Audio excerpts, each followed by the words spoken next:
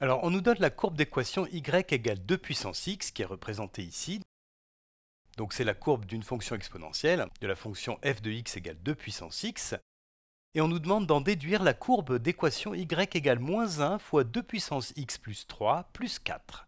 Et on nous propose de choisir cette courbe parmi les 4 qui sont proposées ici.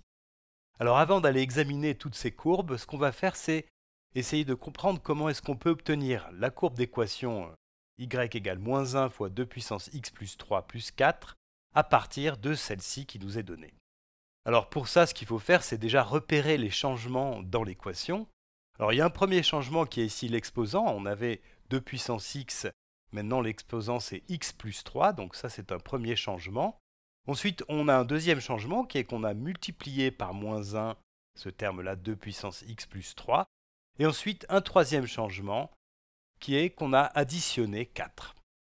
Alors je vais prendre les choses petit à petit et je vais déjà me concentrer sur cette courbe-là d'équation y égale 2 puissance x plus 3.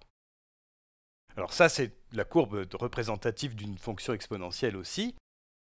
Et en fait, ce qui se passe, c'est que cette courbe-là, on peut l'obtenir à partir de celle qui est tracée ici, en faisant une translation horizontale de 3 unités vers la gauche, c'est-à-dire une translation,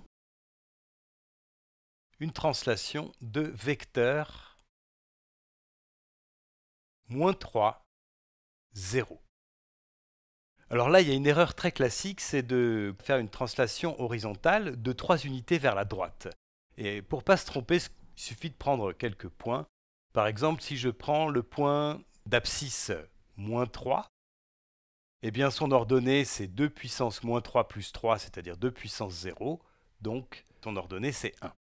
Donc la courbe, elle va passer par le point de coordonnées x égale moins 3 qui est ici, et 1. Elle passe donc par ce point-là. Et tu vois qu'à partir de ce point-là, qui est le point d'abscisse 0, eh bien on a décalé de 3 unités vers la gauche. Donc voilà, ça, te permet de ne pas te tromper. Si tu veux, on fait un deuxième exemple. On va prendre par exemple le point d'abscisse moins 1. Donc son ordonnée c'est 2 puissance moins 1 plus 3, c'est-à-dire 2 puissance 2, c'est-à-dire 4. Hein. Donc elle passe aussi par ce point-là de coordonnées moins 1 4, qui est donc ici. Et tu vois que là aussi, on a décalé le point correspondant sur cette courbe-là de 3 unités vers la gauche. Voilà, donc cette courbe ici est une translation de la courbe violette de vecteur moins 3, 0. Donc je vais la tracer grossièrement à main levée. Voilà, alors ça c'est pour le premier changement qui est ici, celui-là.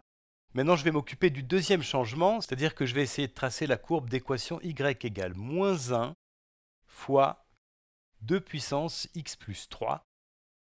Et là, en fait, c'est tout simplement une symétrie par rapport à l'axe des x, une symétrie par rapport à l'axe OX, l'axe des abscisses.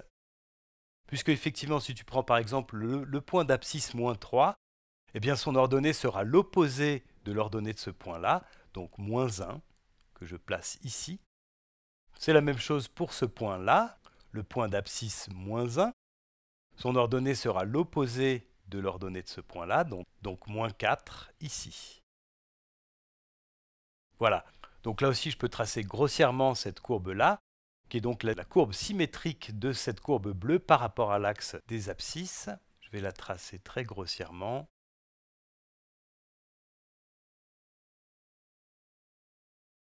Voilà, elle fait quelque chose comme ça, donc c'est vraiment pas des jolis tracés, mais enfin c'est juste pour se donner une idée. Alors ce qu'on peut remarquer, c'est que les deux courbes, bleue et verte, ont toutes les deux une asymptote en moins l'infini, qui est l'axe des abscisses. Hein. Alors maintenant, il nous reste à observer ce troisième changement qui est là, le dernier. Donc on ajoute 4 et ça, ça correspond à une translation, à une translation verticale de 4 unités vers le haut. Donc c'est une translation de vecteur 0, 4. Alors là aussi, pour ne pas se tromper, tu peux prendre quelques points. Par exemple, le point d'abscisse x égale moins 3 qui est ici, eh bien son ordonnée, ça sera l'ordonnée de ce point-là augmentée de 4 unités, donc moins 1 plus 4, ça fait 3.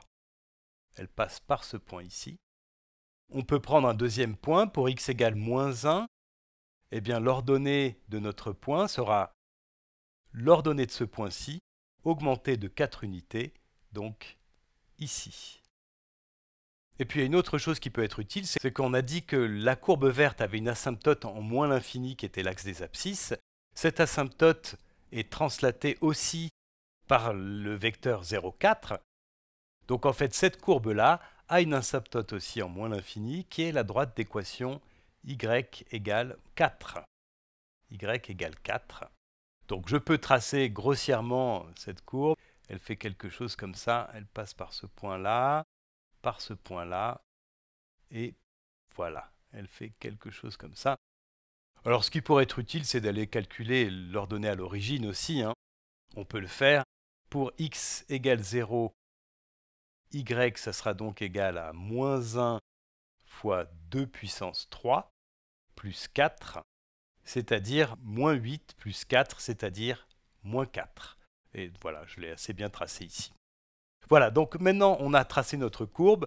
Alors on va pouvoir choisir assez facilement euh, celle qui nous concerne. Alors celle-ci a une asymptote horizontale d'équation y égale 4, donc ça c'est une bonne chose. Par contre, la translation horizontale n'est pas la bonne. Hein. La courbe a été translatée vers la droite, donc ça c'est pas possible, c'est pas la bonne courbe.